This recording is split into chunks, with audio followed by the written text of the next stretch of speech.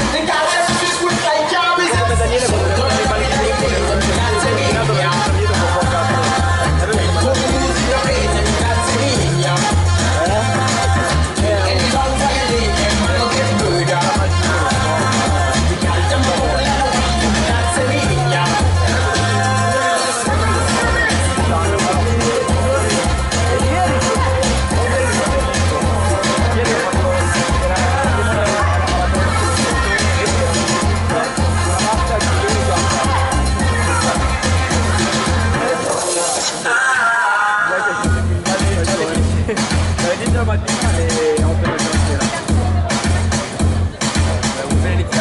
40 minuti, non penso che non lo fare.